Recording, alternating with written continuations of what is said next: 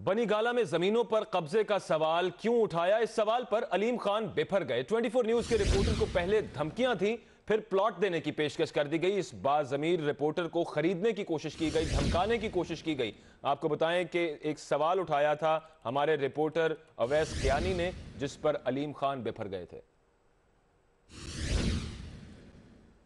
हमारे साथ मौजूद हैं सदर Pakistan federal union of journalist Afzal Bhatt साहब। बहुत शुक्रिया सर आपके वक्त का। फरमाइए सर, क्या कहेंगे? अलीम खान साहब का ये रवैया कितना काबिल मजम्मत है कि पहले धमकियाँ दी, फिर उसके बाद लालच देना शुरू कर दिया? देखिए, मैं समझता हूँ कि कल का ये वाक़ पाकिस्तान की तारीख के बड़े वाकयात में से एक है। एक तो यह है कि ये प्रेस कॉन्फ्रेंस पीटीआई के सरबराह इमरान खान साहब ने अपनी रहायश गाह पर बुलाई थी और ये तमाम जर्नलिस्ट उनके घर पे गए थे बनी गाला में। घर में आए हुए जर्नलिस्ट के साथ किसी भी वहाँ पर मौजूद पार्टी अहलकार का ये रवैया कभी पहले नहीं रहा। हम्म। दूसरा यह है कि ये रेलिवेंट क्वेश्चन था।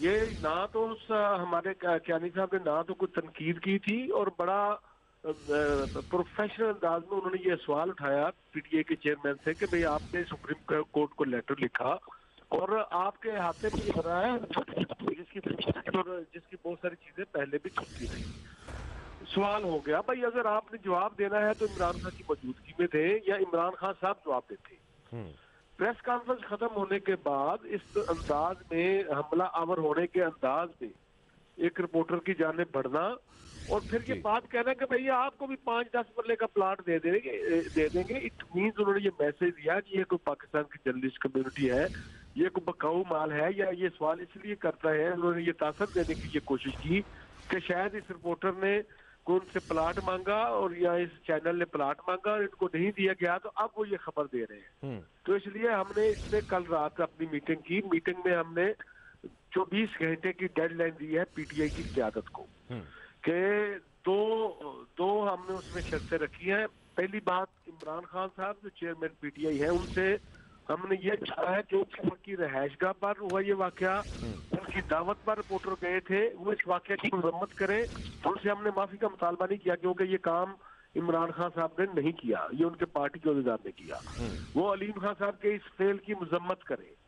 और दूसरा हमने ये कहा है कि अलीम खान अनकंडीशनल माफ़ी मांगे। हम्म। अगर आज शाम तक ये दोनों बातें पीटीआई ने पूरी ना की तो कल से हमारा एहतजाज भी होगा इस्लामाबाद में। इमरान खान साहब की प्रेस को ज़ाहिर है कि हम बाइकाट नहीं क्या कहते कर सकते। बाइकाट करने का मतलब ये है कि हम पाकिस्तान के अवाम से उनका हक छीनते हैं कि जो को खबर जानना चाहते हैं ठीक है हम हम लेकिन हम उस प्रेस कॉन्फ्रेंस को एहतजाज के तौर पे कवर करेंगे हम्म। क्या पटियाँ बाँध के करेंगे क्वेश्चन करेंगे मुजाहरा करेंगे इमरान खान की मौजूदगी में मुजाहरा करेंगे और ये एहतजाज उस वक्त तक करेंगे अगर कल हमारा टोकन होगा इस्लामाबाद की हद तक हम्म। अगर पीटीआई ने हमारे पुरमन मुतालबे को पूरा ना किया, फौरी तौर पर इसका रिस्पॉन्स ना किया तो फिर ये काल पूरे मुल्क में पीएफजे की तजारब से दे दी जाएगी।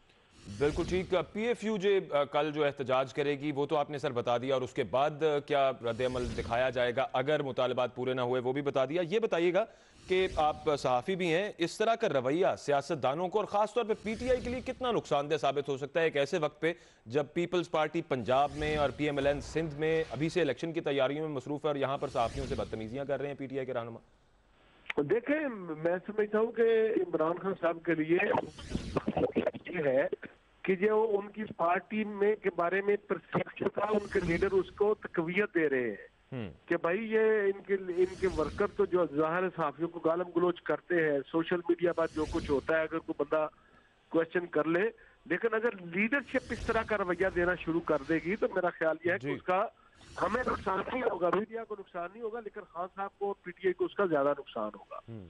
अच्छा अफजल भट्ट साहब आप क्या समझते हैं? पीटीआई के जलसों में अक्सर हमने बदनजमी देखी है तो क्या फिर हक बजाने में कारकुनान क्योंकि सीखते तो लीडरान से हैं और लीडर ने भी कल एक एक अच्छे खासे लीडर हैं पीटीआई के ये अलीम खान साहब। उन्होंने जो रवैया दिखाया है फिर ज़ाहिर है उसी को फॉलो करेंगे कारकुनान भी। मेरा अपना ख्याल ये है कि इमरान खान साहब को एक डिसिप्लिन कमेटी बनानी चाहिए अपनी पार्टी के अंदर। हम्म।